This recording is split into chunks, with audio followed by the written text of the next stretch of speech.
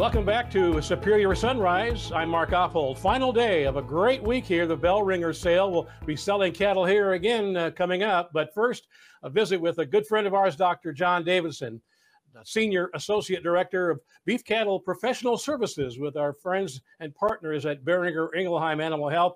Doctor, good to talk to you again. Uh, I guess a, an older topic, but new tools for cattle deworming. Where do we start there this morning?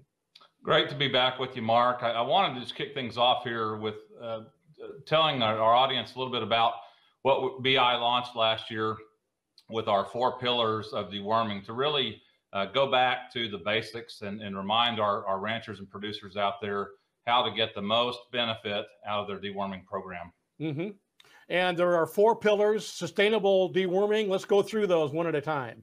You bet. So, in, in a nutshell, uh, the uh, you start with diagnostics, and that's understanding what the parasite burden in the cattle at, at that time is. The, based off that, you you do uh, treatment. Uh, we are really advocating combination treatment, which is using uh, two different compounds, two different uh, drugs from dim- different classes.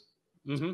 So the the typical pour-on injectable uh, type uh, avermectins, macrocyclic lactone type products and then the oral drench white wormers as part of the combination treatment.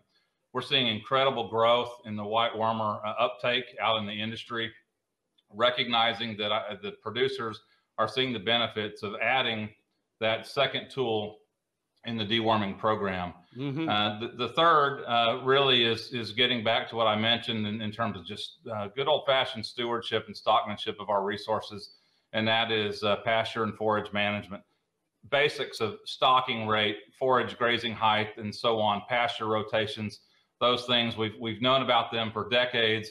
Uh, keeping those top of mind when we're asking the, the, the most out of our uh, our products is going to be important.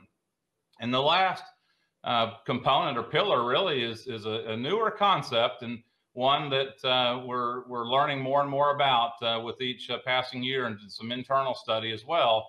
And that is leaving some groups of, of cattle untreated to uh-huh. maintain uh-huh. a population of susceptible parasites in that uh, pasture environment. Yeah, makes sense. You know, uh, we talked a year ago. We mentioned, uh, introduced the long range calculator. Before we run out of time this morning, I want you to give us an update there, Doctor.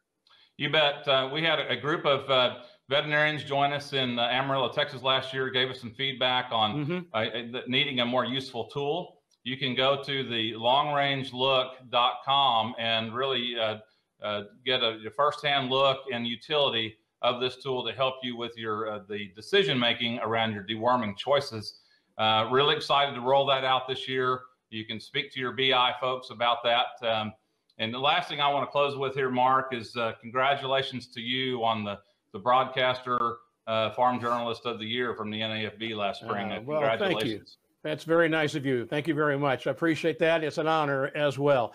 You know, so again, it's a it's a topic we've gone over before, but it's sure good to visit with you again about new tools for cattle deworming.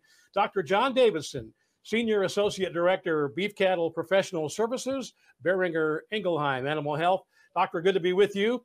And we're going to be selling some more cattle here. We're winding up the bell ringer sale. Beth will be right back after this.